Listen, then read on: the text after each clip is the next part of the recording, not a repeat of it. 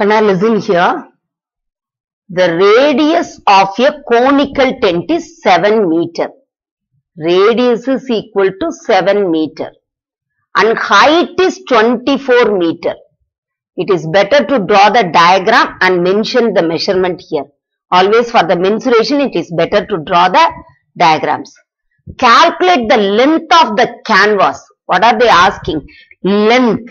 Length of the canvas used to make the tent if the width of the canvas is 4 meter. So width is equal to 4 meter. They are asking the length of the canvas.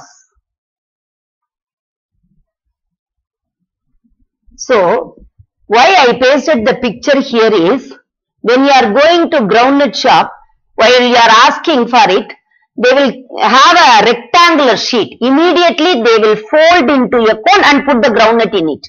Isn't it? So, have you seen or not? So, for that purpose only I pasted the diagram here. So similarly, rectangular canvas is there. They are making this rectangular canvas into a conical tent. That means what? Curved surface area of a cone is equal to area of a canvas. Area of a canvas, rectangular canvas. Do you follow? Rectangular canvas is CSA of a cone. CSA of a cone is nothing but pi r L. So curved surface area of a cone is nothing but the area of a canvas. So curved surface area of a cone equal to pi r L. But here L is not given. You have to find out. You see the diagram, it is a right angled triangle. So Pythagoras theorem, according to Pythagoras theorem, this is hypotenuse, isn't it? That is slant height L. In a right angular, in a right angular triangle, in right angled triangle, square of the hypotenuse is equal to the sum of the squares of the other two sides. So L is equal to root of h squared plus r squared. So 24 squared plus 7 squared. 24 squared is nothing but 576. Just you multiply and see. Plus 7 square is 49.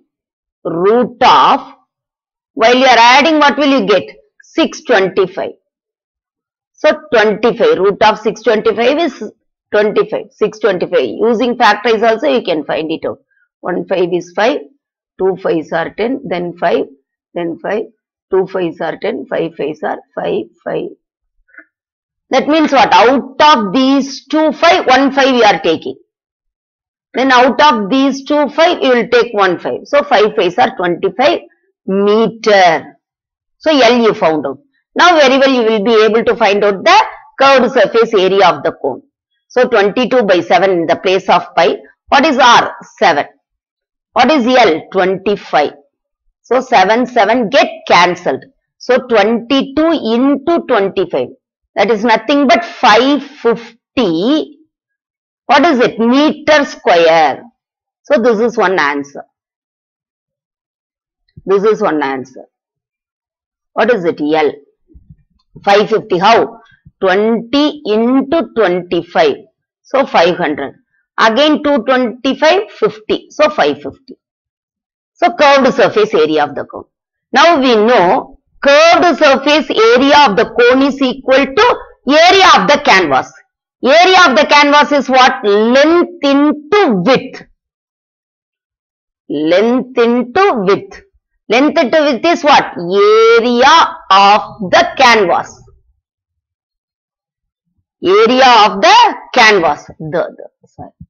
area of the canvas length you want to find out width is what 4 area of the canvas is nothing but CSA of a what is it 550 so length is equal to 550 divided by 4 so 550 divided by 4 1 4 is 4. Remainder 1. Then 5. 3 4s are 12. Remainder 3. So 30. 7 4s are 28. Remainder 2. So keep point and add 0. 5 4s are 20.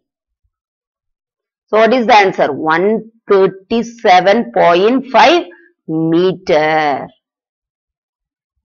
Do you follow? So first you should know the basic concept that area of the canvas is nothing but the curved surface area of the cone. Then only you will be able to find out the curved surface area of the cone. So L is not given with the help of H and R you are finding out L and substituting finding out the curved surface area of the cone. With the help of the curved surface area of the cone, you are finding out the length of the canvas because this is area of the canvas. Do you follow?